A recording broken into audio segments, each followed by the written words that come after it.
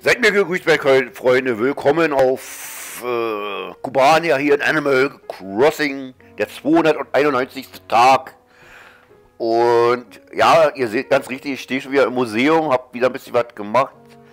Ja, und ich habe festgestellt, es geht tatsächlich scheinbar nur drei Tage.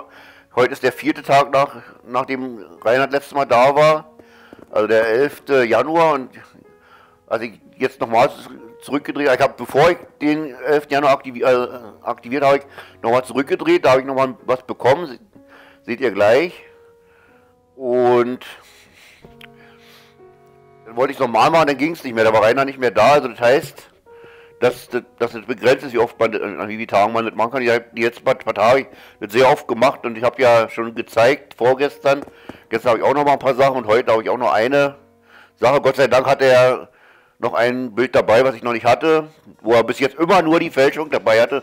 Und endlich, endlich habe ich mal das Original. Und ja, seht den Nackedei dort. Das ist natürlich niemand geringerer als Galantstatue. 10. Januar. David, Michelangelo. Ganz richtig, meine Freunde. Michelangelos David. Ja, aus der Bibel, nicht wahr? Um 1504 aus Mauer geschlagen der David, der halt Goliath, sich Goliath stellt und mit seiner Schleuder, die er über der Schulter trägt, dort äh, zu Boden gebracht hat und so, nicht wahr? Und ja, dass sein Geschlechtsteil doch relativ klein dargestellt wird, aber es ist anatomisch korrekt, haben Wissenschaftler festgestellt, weil er, weil man davon ausgeht, dass er ja sich fürchtet in dem Moment, in dem er sich halt, ja, dem Goliath, also einem, einem riesigen Typen, was auch immer, stellte. Und da, ja, ist der, der Penis halt etwas zusammengezogen, nicht wahr?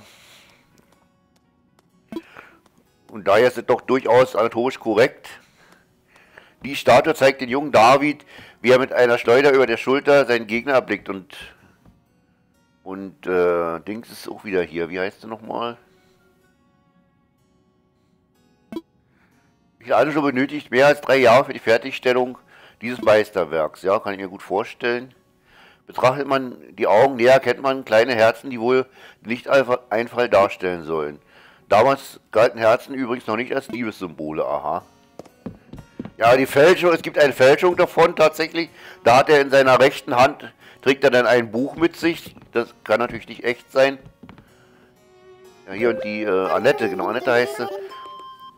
Das ist also dieses berühmte Gemälde, von dem alle reden. Kann ich verstehen. Mäh.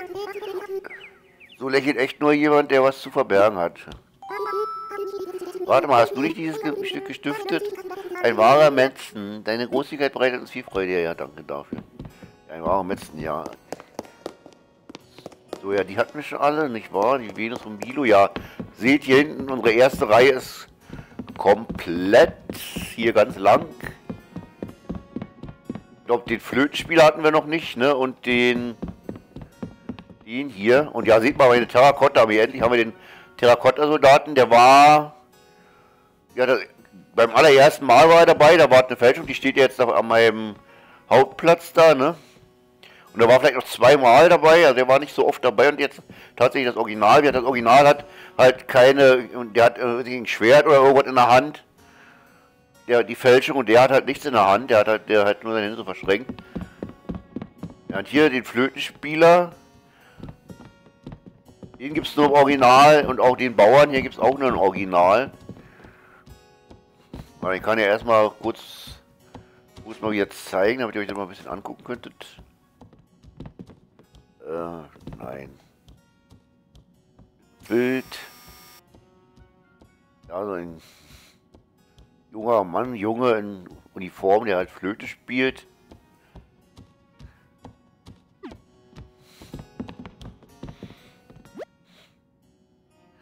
Hübsch Gemälde, 9. Januar.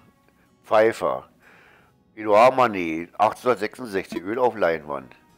Dieses frühe Gemälde von Manet zeigt einen jungen Flötisten in Militäruniform. Manets Werke sind bekannt dafür, dass sie lineare Perspektiven und starke Kontraste vermissen lassen. Dies brachte ihm den Titel Vater des Impressionismus und auch einige Vergleiche mit Velasquez ein. Flötenspieler Spielern ist angeblich möglich, anhand des Bildes die Noten zu erkennen, die der Junge spielt. Ja, ich denke mal schon, dass man anhand, anhand der Haltung der Finger und so weiter erkennen kann, welche Note er gerade spielt. Das ist, denke ich mal, nicht so eine ganz große Kunst.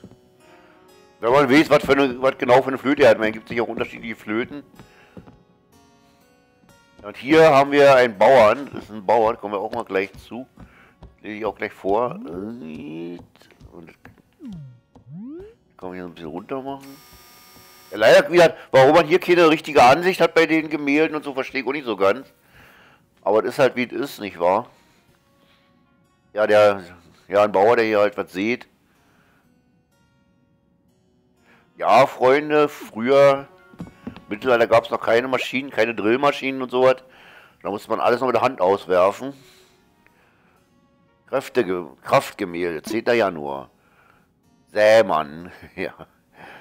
Jean-François Millet um 1850, Öl auf Leinwand. Dieses Gemälde von Millet zeigt einen Bauern, der auf einem Feld Weizensamen aussieht. Es entstand, nachdem Millet Paris den Rücken kehrte, um aufs Land zu ziehen.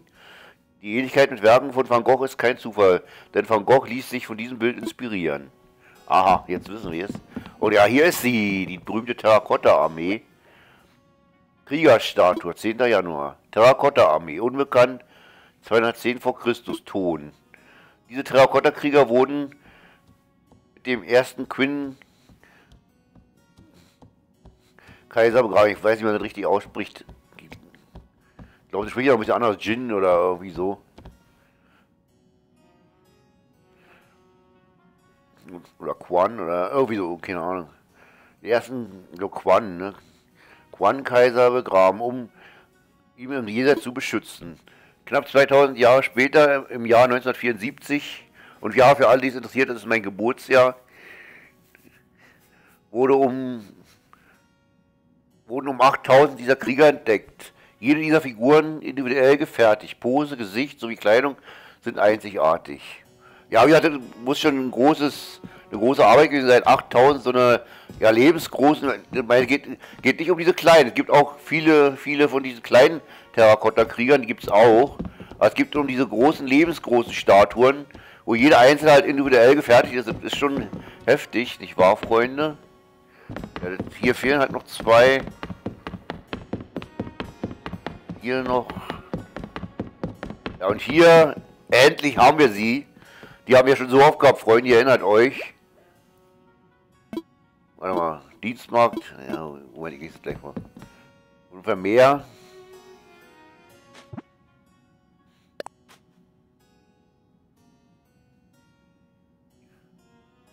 Aber eigentlich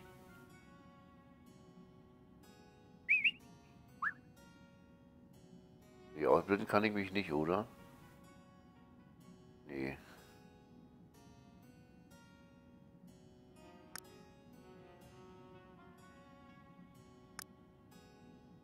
Ob Weichzeichner, Drama, Kino, Schwarz-Weiß, Sepia, Standard.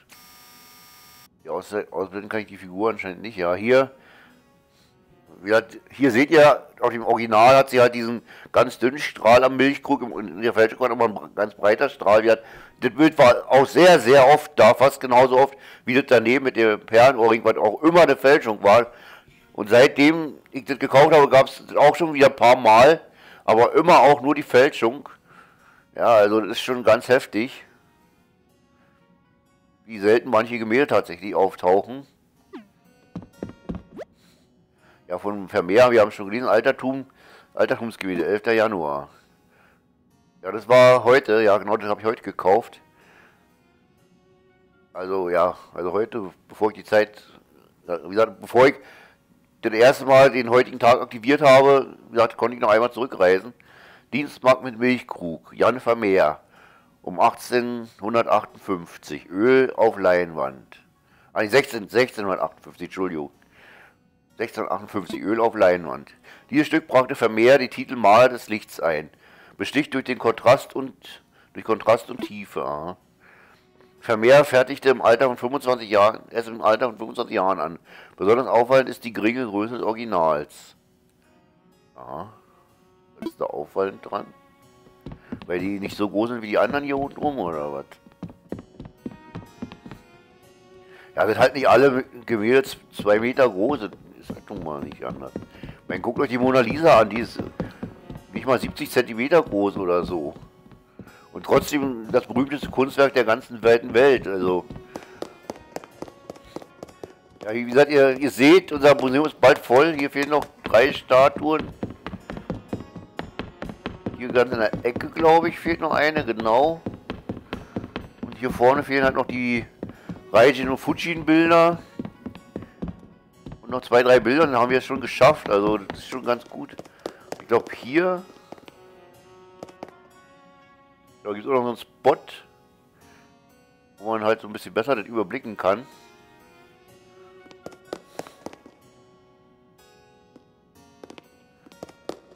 Also ja, wir sind gut dabei, denke ich. ja, wenn ich das schon früher gewusst hätte, dass man das auf diese Weise machen kann, ja, ich, ja, bin nicht so auf die Idee gekommen. Wie gesagt, die Idee ist mir so eingeschossen, weil ich gedacht habe, ja, es ist bald rum das Jahr und ich will es nicht ewig fortsetzen.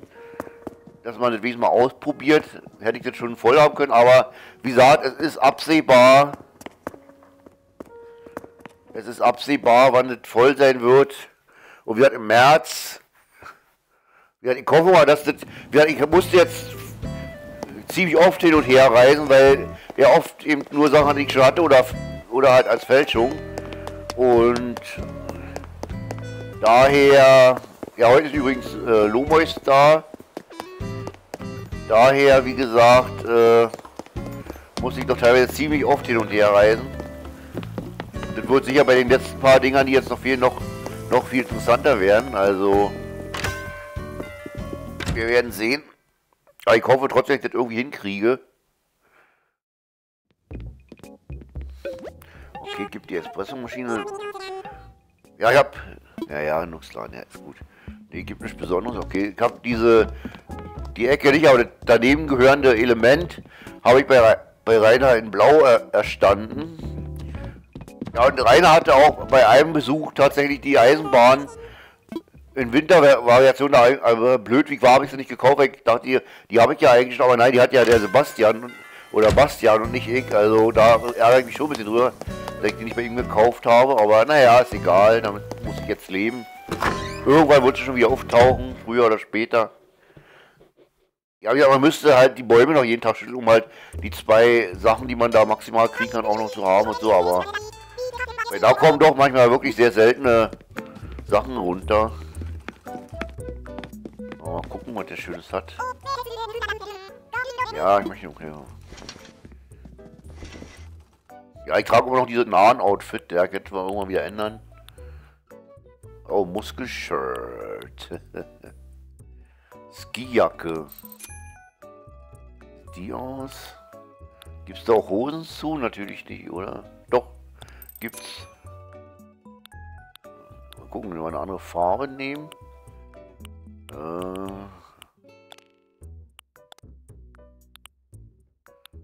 Also Frauenfarben. Ja, entschuldige, wenn ich jetzt so sage, aber.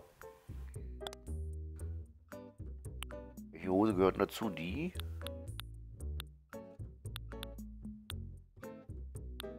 Ja, muss ja. Hm, naja, gut, wir nehmen es mal spaßeshalber. Also ein Barret. Barett oder keine Ahnung, wie man das ausspricht. Ja, noch eine geile passende Brille, warum nicht? Ja, glaube ich, gab auch Skistiefel, glaube ich. Und hier noch so ein blauen Hut dazu. Na, warum nicht mal was anderes?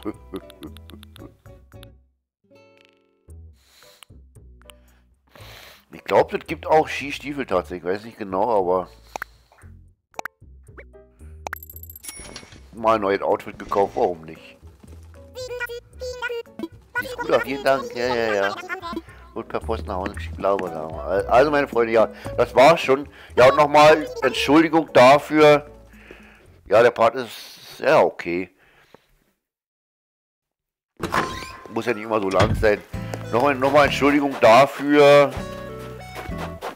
dass ich, dass der letzte Part ohne Abschied, äh, Abschiedsworte zu Ende gegangen ist. Leider Programm mal wieder ein bisschen abgekackt und so.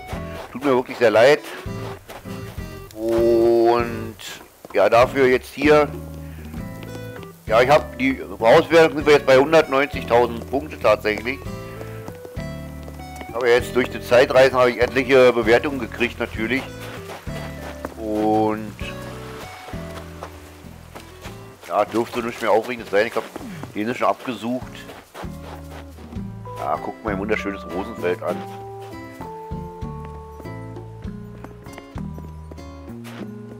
Ja, das sind mit den Gold mit den Goldrosen einfacher vorgestellt. Dauert wirklich sehr lange, die, vor, die vorzupflanzen. Wie gesagt, das sollte eigentlich noch Gold werden und das, das hier, die sollten alle noch Gold sein, aber naja, ist egal.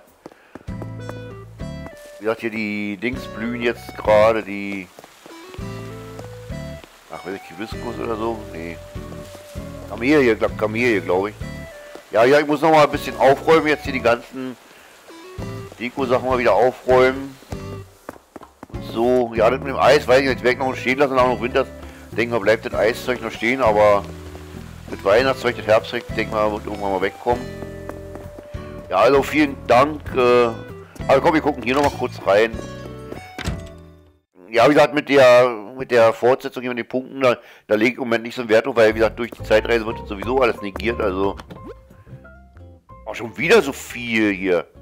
Grauplattenboden, Pinkwellblech, Beton, Balkonteich. Pastell, Puzzletapete. Bei zwei, zwei Tage Zeitreise, na gut, wir hatten vier, fünf Tage einen Futon Schlafplatz. Ja, das ist das, was ich auch habe, diese japanische Schlafmatte. Sonst, sonst konntest du Tage kommen, da kommt nicht ein Ding darin und, und wenn ich mal drei Tage in die Zeit zurückreise, dann ist das Ding gleich gerammelt voll, ey. Ja, die Wege als Verhökern brauche ich alles nicht. Ja, also meine Freunde, vielen Dank fürs Zuschauen. Und ja, bis zum nächsten Part, nicht wahr? Ja, ich denke mal, irgendwann in diesem Monat wird Rainer noch mal reinschneiden. Keine Ahnung, wann es sein wird. Ja, heute war äh, Lomois da, aber bei dem ich im Moment auch, auch nicht weiter machen lassen. Da habe ich eigentlich alles, was mich so interessiert. Ja, wie gesagt, wenn Rainer wieder da ist, werde ich natürlich wieder mich melden und wir haben ein paar Zeitreise paar Mal die Zeit hin und zurückstellen, solange es mir halt möglich ist, um halt die vollzukriegen. Und ja, wie gesagt, im März wird das Projekt wahrscheinlich enden mit den letzten Meerestieren. Da müssten ja eigentlich auch alle Events gesagt, weiß nicht, ob noch irgendwas kommt, eine Art Winterfest oder, oder irgendwas, Februar vielleicht. Jedenfalls vielen Dank fürs Zuschauen, fürs Zuhören. Und ja, ihr könnt mir auch mal sagen, wie euch mein Museum bis jetzt gefällt. Mein Kunstgalerie und so. Und ja, also bis dann, meine Freunde. Bis dann.